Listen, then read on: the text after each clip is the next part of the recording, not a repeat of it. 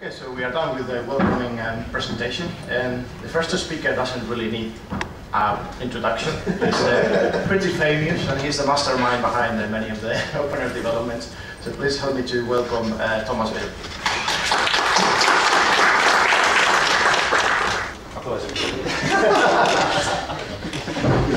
okay, good, good, good morning, everybody. My name is Thomas Beale. Um, I'm going to talk about. Oh, hang on. Let me put it into presentation mode. That would be smart, wouldn't it?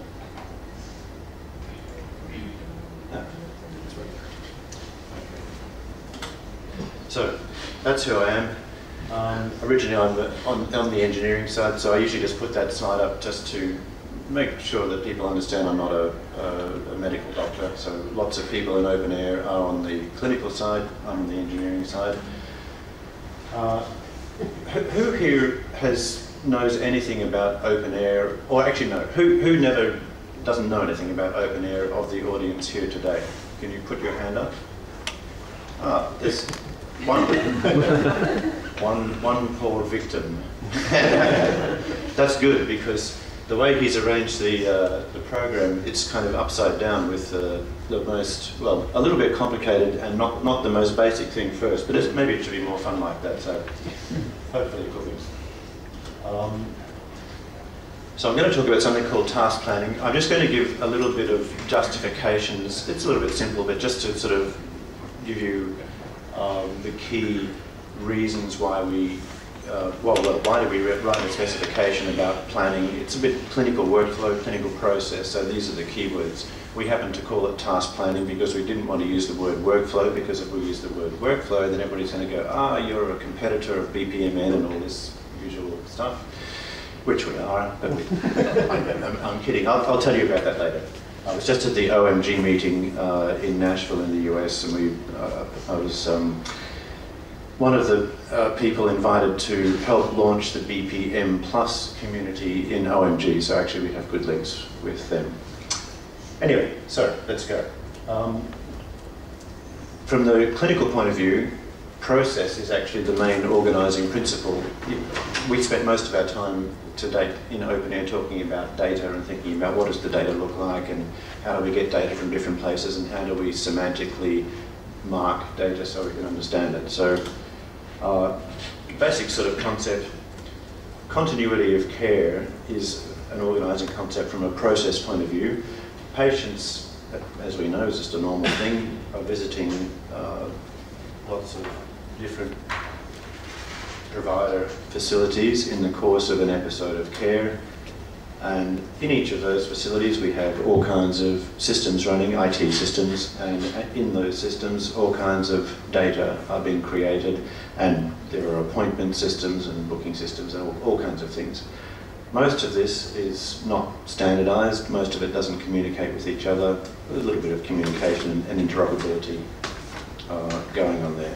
So just, I'm just thinking in terms of the process of care from a consumer point of view, and also from a clinical point of view, what, what, is it, what, what do clinical people want, what do patients want?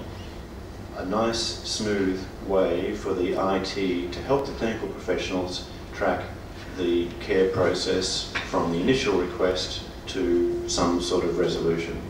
It's a quite simple thing from a, a consumer point of view, right? So let's just have a think about some semantic levels in, to do with process. So professional care view, uh, you can think of uh, clinical guidelines and care pathways. So they're models of care that have been worked out from clinical research based on um, evidence and studies of what the relationship between outcomes and original practice has been in the past. And we look for the good outcomes and try to refine what are the good practices and eventually some guidelines get developed. So if you look on a site like nice.org.uk, I don't know what the um, equivalent site in Spain would be, but every country has a lot of these different repositories. You're going to find a lot of guidelines. So you can see things like uh, the third one there, maybe you can't read, but it's initial management, uh, sorry, um, confirmed diagnosis of stable angina or continue investigations it's a whole guideline. If you click on that, you end up in a, a big thing. you can see some other things about stable angina. So this is, I don't know how many hundreds of these there are. There's a lot in this particular repository. Uh, there's a few more that just gives you an idea. Uh, acute coronary syndrome excluded ways um, of doing assessments for various kinds of things and so on. So I'm sure most of you are probably familiar with guidelines as a general um, artifact in clinical practice. So there's a little bit of um, logical workflow in a guideline. Uh, it's essentially a kind of decision tree of some kind. Well, if you look at it carefully, it's mixed actions, so doing some sort of examinations and then deciding based on observations and results what to do next. So you can see there's a decision point in there which distinguishes between typical or atypical angina, which is the straight through path, and non-angina chest pain. So that's one of the basic things that doctors try to do. If you come to the ED, got chest pain, they go, oh, okay, you go in there first. And we do a lot of testing, make sure you haven't got raised ST segment on the ECG or troponin or whatever, and do a lot of other tests, and hopefully they figure out that maybe you didn't have chest uh, didn't have angina, which would be a good thing. There's a few, uh, there's a particular uh, guideline, chest pain of recent onset, assessment and diagnosis. So this is just a thing that clinicians could use in a routine way. Now, you start looking at the detail and you can see a lot of steps in here.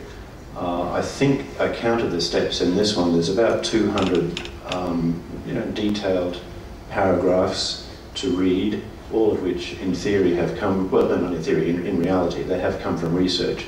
You can see after each paragraph there's a date, like 2010 or um, 2010 amended 2016. So these things are being maintained over time. So, what really is one of those things? It's a model of care for a condition. It's a decision tree, or it, it contains decision tree uh, uh, uh, decision trees in amongst actions based on research results. It's not a patient care plan.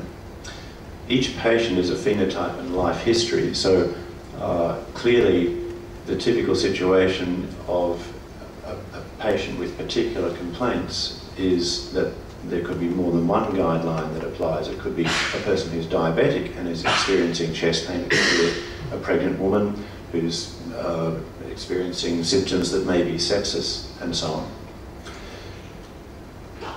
It's a clinical level idea as well. It doesn't tell the doctor to go and do um, obvious things. It doesn't tell the doctor how to order a CT scan.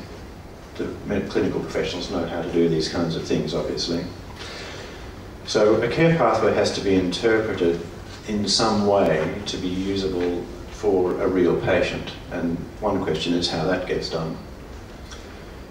So I've already showed you, you can, I'm sure a lot of people here know that guidelines generally may have many, many steps. One of the things that it's easy to forget is that guidelines are under constant maintenance, just like software, so they keep changing. Uh, the uh, spontaneous coronary artery dissection, SCAD, was a condition that wasn't probably in the literature until about 10 years or 15 years, I, I, don't know exactly when, but now it's considered to be probably one of the more normal causes of certain kinds of heart attacks. So that's just uh, normal medical research uh, acting as it does, and guidelines have to get updated to take account of these new uh, understandings. Also, guidelines change because of things like costs of um, certain types of tests for, and it's easier to do a, a CT. There's less radiation in modern machines. They're higher, um, uh, higher precision, and so on. One of the important points is that clinicians are only hu human, and they need help, especially in complex uh, cases. So there's lots of arguments to computerize guidelines. Most guidelines today are just PDFs, paper. So here's a picture just to sort of establish the, uh, the logical semantic levels. Guideline we can think of as, as clinical steps, uh, but there's a process level at which we have logistical steps that we need to actually perform. Do an ECG, do a, uh, CT scan, coronary arteries, there might be a delay. Uh, so, or sorry, that, that, that one there is, is to uh, establish the appointment. We have to wait some time, at least in the UK. Then you have your CT scan. Uh, the radiologist, radiologist does a report. So a single line in a paragraph in a guideline might have a lot of logistical steps, probably more than what I've shown. So there's, at some level, if you want IT support, you have to think, well, probably the clinician, of course the clinician knows how to uh, order an appointment or do whatever, but because they're doing it for lots of patients, they need help to remember, did I already order an appointment for that particular patient? So we, we would like to see uh, what has been done, what I have, have, I still got to do for this patient, for that patient. Clinicians are seeing multiple patients every single day, of course. So clinical um, view is to, well, would be to uh, have a picture of the whole process, to know where we are in the process right now, who's taking care of the patient right now, what's the status of all of the orders and interventions that are going on, uh, at least the important exam results, notes, etc. So it, from a clinical point of view, this is just absolutely normal. It's, it's like, it's not asking for anything strange, uh, but it's actually quite a challenge for the IT layer. So we have the guideline level. From our point of view, if we want to provide IT support, we need something which we're calling the plan level, which is more of this logistic uh, level of, of, logistical steps. Now, it, when I say logistical, it might be clinical steps, for example, single administrations of drug, uh, drugs during a chemotherapy uh, um, administration uh, for uh, a cancer patient. So any single clinical action, if we put them all together, uh, we want to have a way at the plan level to represent these single actions so that we uh, can, clinical people can mark them off. I did this or I didn't do this. And when clinical shifts change, nursing shifts, or people go on holidays uh, from the clinical side, nobody forgets what's been done, what do we still have to do, where are we in the plan, who is taking care of this patient, and so on. And at the bottom level, what we spend most of our time on in openEHR is actually what we think of as clinical information, but it's really these top next two levels, plans and guidelines, under which is creating the um, sort of organising controlling uh, principle from which information is created in the EHR. So just to say what we have today is a big mess of proprietary and pretty fragmented data, a little bit of representation of process in things like booking systems and so on. But what we really want is a picture of uh, a representation of those three levels, guidelines, planning, and the clinical information, which we could consider to be my own EHR. And, well, those systems aren't going to go away, uh, not, certainly not quickly. So you need to be able to connect that EHR to those systems and also to the patient. But the idea here is that inside, or at least by reference from your own EHR, we have uh, plans now, not just data which are the results of observations or decisions or, um, or administrations of drugs. So, basic reasons for clinical workflow and trying to build a specification for it. Well, team-based care is a, is a norm. Complexity is the big killer. So I spent a, a few years working at Intermountain Healthcare in the US with experts in this area, and they identified complexity as the big the, it's the thing that you can't beat. No human, no matter how many medical degrees they might have, doesn't really do better than anybody else with this very famous 7 plus or minus 2 uh, complexity limit. That is, 7 plus or minus 2 is, is about the uh, normal amount of uh, uh separate, separate variables that humans can keep in our minds and keep track of now, if a complex condition like sepsis or acute respiratory distress syndrome, complex birth, whatever, has been identified by researchers as having uh, more like 20 or even 30 variables uh, at a time. So no, no human can keep track of those without some kind of um, help.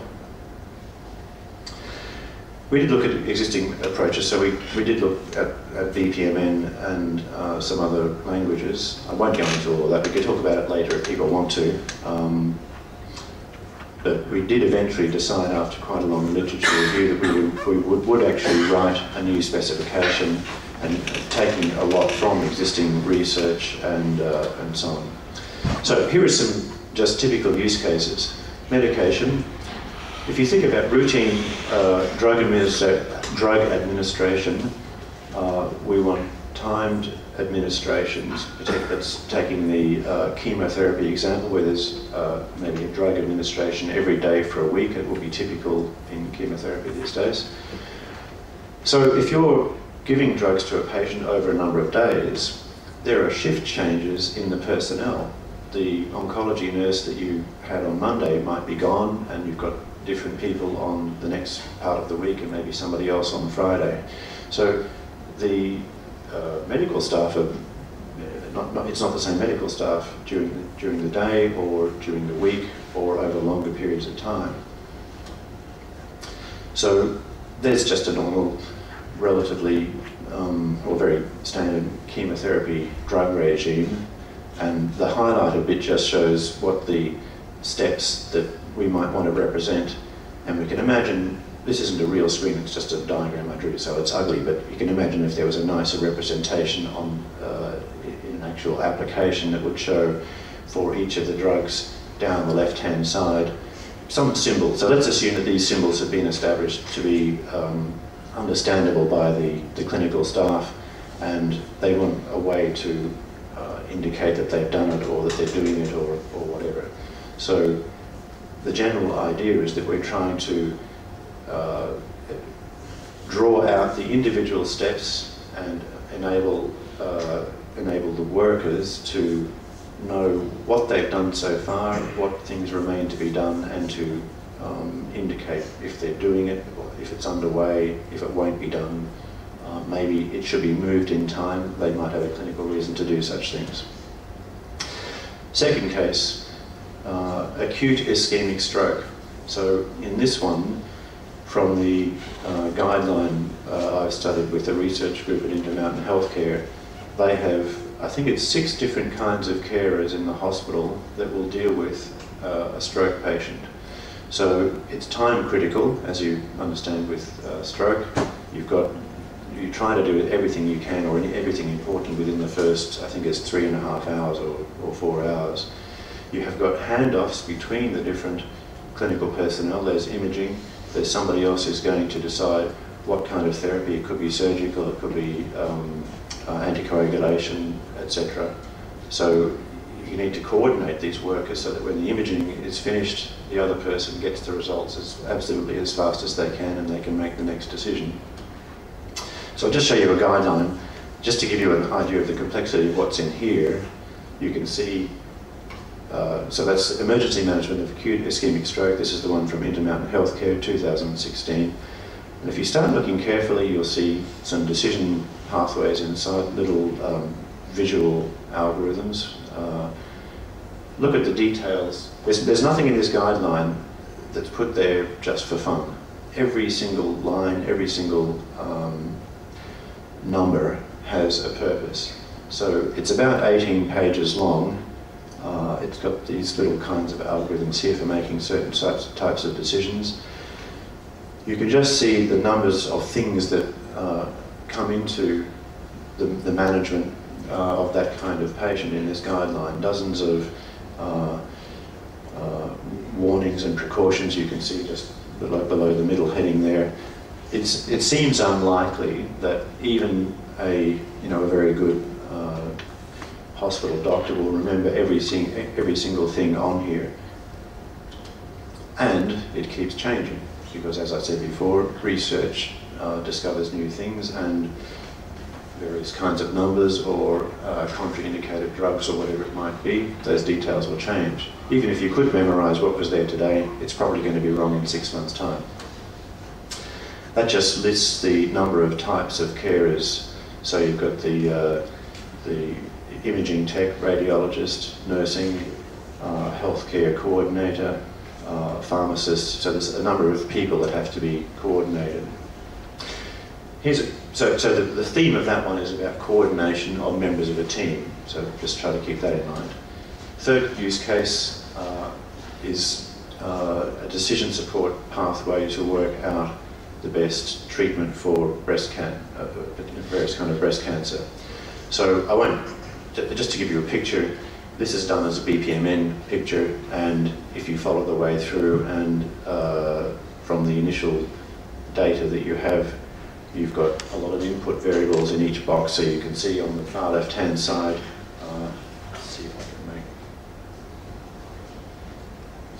yeah. So over here, it says consider a TNM, uh, that's um, tumour node metastasis, just a cancer staging scoring system. And depending on whether that one says T less than 3, N less than 2, G less than 3, you go down this pathway, no prescribed chemotherapy. If the values are different on this box, you go into a pathway down here, and then you there's more decisions to be made down here. So you get the general idea, right? The, the output is to figure out what are the treatments. So the blue boxes are possible treatments uh, following this through. So this is just a big decision pathway. There's a whole lot of other requirements. I'm not going to go into them because it would take too long, and I need to be careful about time. You're going to you're going to hit me. Yeah. I, so I, I, can. You have 10 minutes more yeah. for the presentation, and then you have also 10 minutes for the questions. So you still have okay. So I'm just going to give you a. I mean, I'll just mention the, the headline themes, but I'm not going to talk about them. So order sets, long-term treatments. I want a care plan maybe that's going to help manage a patient over a number of years. Uh, the checklist view, so the idea that it's good to have tasks that you can check off, even if it's mundane, obvious tasks. Tired workers forget to do some things, and a classic thing is that, uh, you know, if you forget to uh, sterilize something, maybe a patient is going to pick up an infection because a, a tired nurse or doctor forgot to wash his or her hands. Uh, adaptiveness. We need ability to skip tasks and cancel tasks and, and do those kinds of things. Uh, we, we have to keep in mind that there's a difference between a task list for one worker and a task plan for a patient. So in some hospital IT systems, there are task list systems that put the tasks for me, who's a nurse. But if you think about it from the patient point of view, there, there can be a number of people working on that patient uh, at the time. So the task plan view is the patient-centric view. We can talk about maybe whether uh, we can put costing related information in there, etc. Anyway, so I'm just going to go into the design uh, concepts of our task planning specification in openEHR.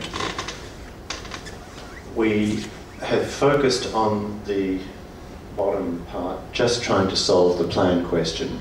We think that the primitives of the language that we've developed will probably work pretty well to represent care pathways, but I'm not going to make any claims right now until we've done more uh, testing and investigation.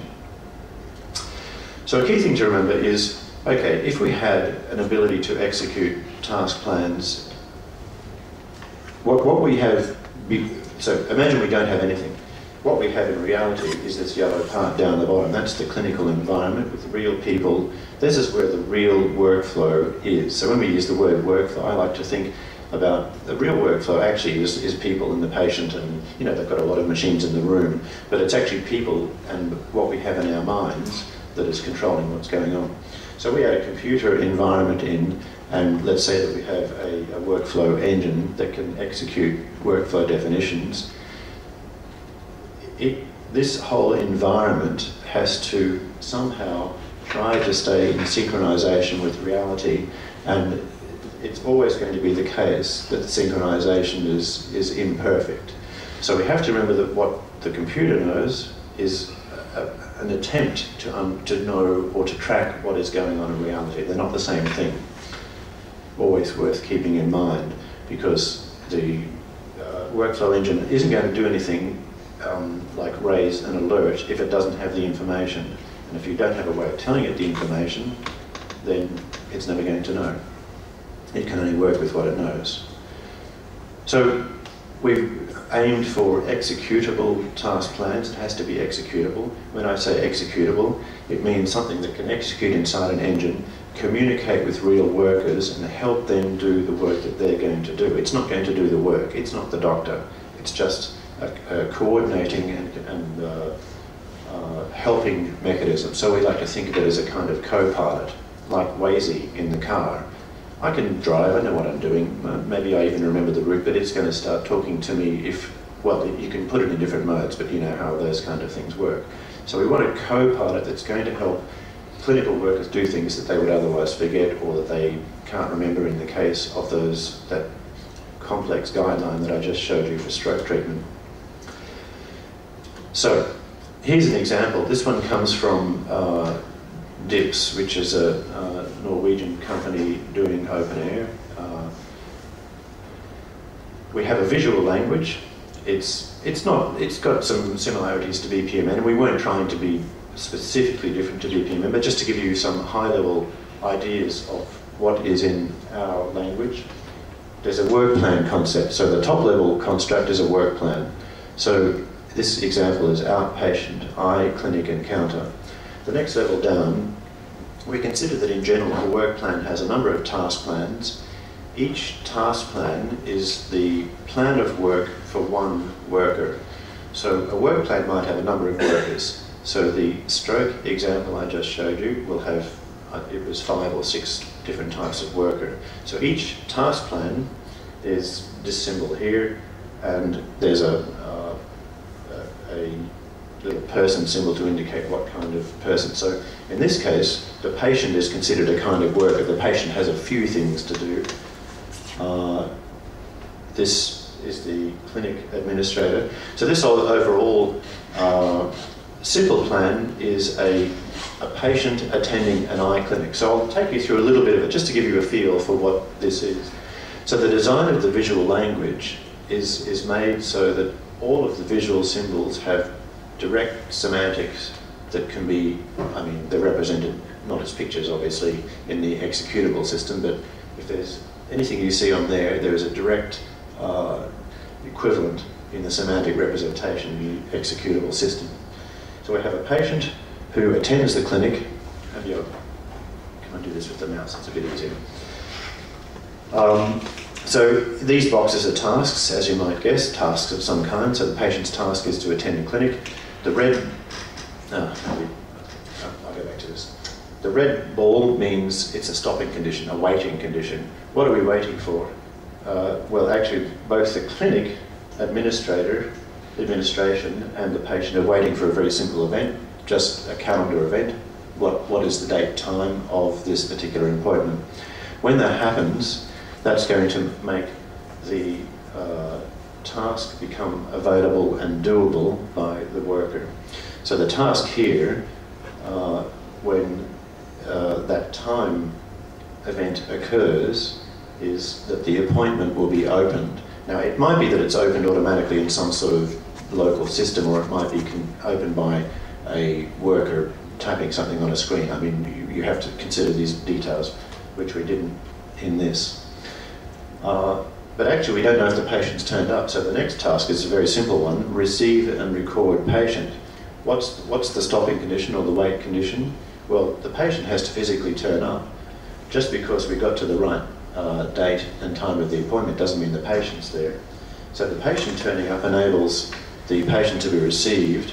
The next task is for the patient to be passed to the consultation room and you can see a symbol here which is um, what we call a callback and uh, you'll see where it goes to the next slide and goes to case review. So it's a new worker, it's a nurse, and uh, the role is to perform case review. So that nurse will receive um, and retrieve the EMR, that's the first task, but there's a wait condition on that. That's only going to happen when the patient is in a uh, called from the room. Probably the nurse is dealing with some other patients. So the general idea is that a lot of tasks are going to have wait conditions and different types of events that can fire the condition and make the task able, available to be performed. Another task, review eye function, so that specialist nurse is going to review the patient's eye function. And so here's a decision uh, box, and this little dot here means one path out of many, and it could be return to reception, nothing needed, or it could be passed to the doctor. And if, it's, if the decision is passed to the doctor, there's a little bit more workflow and the, uh, there's a, so there's a little task plan here for the actual uh, ophthalmologist, specialist, and same thing again, some tasks, and they will eventually pass back the patient to the desk at the front. So it's a very, very boring, it's not particularly interesting from a clinical point of view, it's just to show some of the basic um, uh, primitives in the language. Now, we can do a lot more things in the language. I just wanted to give you a feel. There's now a tool which uh, has got uh, a visual modelling mode. It's the archetype designer uh, from Marand, now called Better, so it's a company in Slovenia that some of you would have heard of that's been doing openEHR implementations for a long time. So they have a tool that has this visual language in there. You can find the specification. Um, I'll just see if I can. I'll finish in a second. I'm just going to try and show you the visual modeling language just to give you an idea of all of the primitives in the language. So work, work plan and task plan, that's the top level primitives. Actually, there's a whole lot of different metadata items to do with what care pathways and clinical indications and all kinds of things, as you might expect. Uh, these are different types. These are just grouping mechanisms. You can have tasks in parallel or in series, sequential. You can mix them up. We have um, different types of logic, um, similar to uh, you know what you've seen in, you would know from BPMN. We have wait states, uh, as I showed some examples there. We have conditional structures. So something that works like an if statement with various types of variables uh, and whether a variable um, or a Boolean expression is true, it means you go this path, otherwise this path, otherwise another path.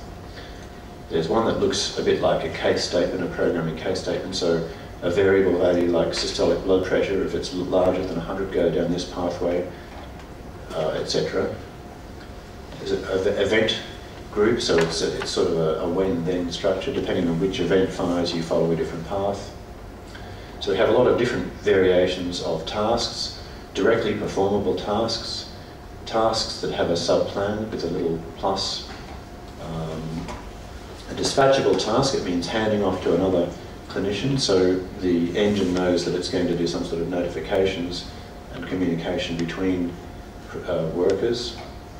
So you can see across the top here, there are different variants. I won't go into this, we don't have enough time, but there's uh, a lot of a lot of variance as you can see when you work out all of the combinations. Um, this one down here is uh, a dispatchable task type which is external request to an external system which um, isn't in the computing environment of the workflow engine. So it could be a phone call or uh, just old, uh, another type of communication to get some particular work done. And here are the event types which can trigger the wait states. So timing events, um, timeline moment. So, for example, if you, if you hit the, the two day mark inside a task plan, then that will create an event. And uh, state triggers, so that's if, for example, systolic blood pressure is becomes over 160. So as you can imagine, you, the system has to have access to these variables. There has to be a way of uh, the values being input to the system so that it, it can know to generate a trigger. Uh, manual notifications if a person just maybe receives a result in their hands and they just have to press something on the screen to tell the system that this has been received. Maybe a, a scan result is ready. Other to tasks that have been done or aborted or completed, that, that's an event and that might have an effect later in the workflow. Uh, we can have delays, uh, as I mentioned, we have a, a, callback idea. Now, in the short amount of time we have here, of course I can't explain everything here. I think anybody who's done anything with anything like YAWL, which is yet another workflow language, that's actually the closest language that this one has uh, a correspondence to. There's a lot of correspondence with BPMN as well, so you probably understand generally what kinds of things are here. We focus very heavily on adaptiveness and um, being able to deal with exceptional cases. I didn't really show much of that because, uh, again, it's, it's a complex area. So this is just giving you a flavour of uh, what we've done in our in a, this specification. So I'm going to stop there. Do we have time for questions? A couple Yeah. of questions maybe? Yeah, actually we have six minutes, so we have some time for. Um, Anybody got a six minute Any question? questions? It's been, I, I have, uh, I have read through this, I know about this data planning for your work. And uh, um, in the in the case of process mining, uh, process mining usually is usually people know more about the discovery part. Yeah. Taking the events, we can have these kind of models. Now these are new ideas of applying interactive technologies Yeah. in order to use the experts' knowledge to make to support the, pro, the discovery process. Yep. So imagine you are in the, in, in the middle of discovery and you have some actions that you can mm, uh, make semantic information that because in, in, in process mining most of them uh, these, are- these are activities there are it is in the log but and they have his semantics but if, if the expert can offer these semantics to the, these events we can use that in order to improve the discovery in a more understandable way. but in that case if you have also the task plan made the interesting thing in that case is uh, conformance checking techniques. What is conformance checking techniques? We have the general plan and you, we have the lot of the instance of the log of the instance. The idea is what is the dif- distance between the log and the real and the ideal plan. And we have a lot of technologies in order to make these distances. Yeah, so I mean, I didn't even try to talk about process mining. He's way more expert than I am on it, for one thing.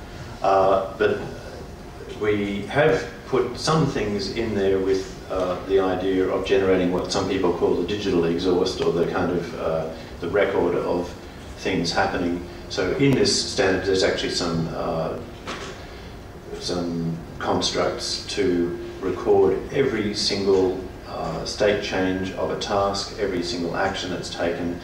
But of course, as, as the work plan happens in reality, as clinical workers do their, their work and maybe they click something on the screen, the normal things that happen in an openEHR system are still happening. So an action is recorded, an observation is recorded. So the fully detailed observation of an ECG result or you know, blood pressure or whatever it is. So there's actually two type of uh, digital exhaust. One is coming straight from the workflow engine. It's a kind of mechanical generation of, of um, hopefully well formatted log events that could be uh, used for basis process mining. Uh, but you can treat, I mean, the EHR is a kind of digital exhaust of just work being done. And if you have an indi- we now can have an indicator in any observation or action or diagnosis or anything else that's in the record that says what uh, task plan task caused this to be done. If, if there was a, an actual planned uh, task. Now, of course, I didn't even talk about authoring and what's the whole mentality of authoring and design of these things because that's a huge topic itself. So, um, what I would say that I look forward to actually you know, doing more research potentially with, with uh, some of you guys here, which would be fantastic to get this uh, in, a, in a system, in a, a bigger environment, an ecosystem where we close the loop between doing and process mining and learning and uh, improving guidelines over time. we have time maybe for one short question. No questions? Okay, I will, I will use this time for one uh, question. So it's about, I don't know if you've already faced, or maybe you will face in the future, to deal with uh, multimorbidities. And, and if you can, if, if you face it, if you can speak about this problem, because it's something that is uh, always mentioned in all the literature about a big issue when dealing with uh, workflow management and clinical guidelines, etc. Yeah, well, all I can say is that, I mean, I, asked questions actually of um, experts at Intermountain Healthcare, and they're one of the centres of excellence in the US.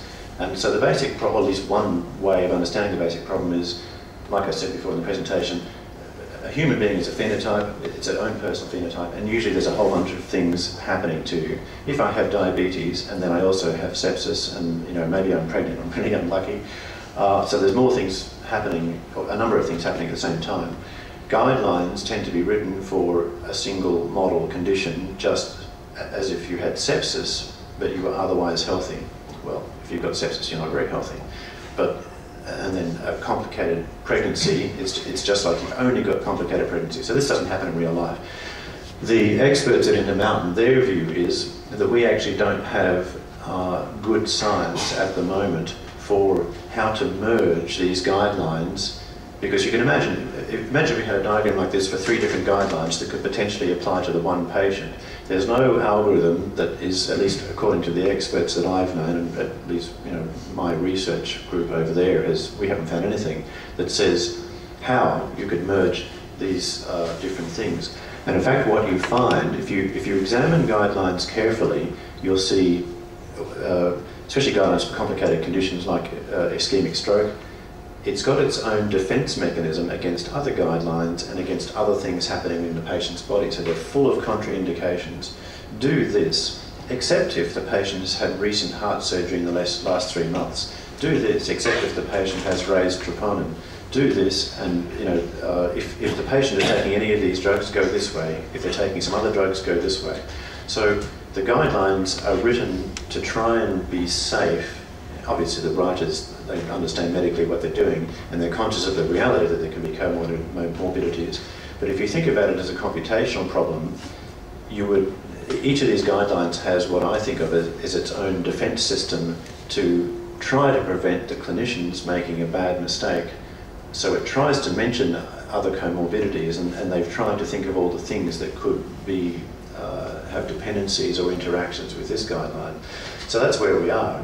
Now, to change that to get to a more scientific approach where you could merge guidelines somehow, maybe even in a machine way, I think we're a long way from that. It's going to be a very interesting uh, journey to try and figure out how to do it.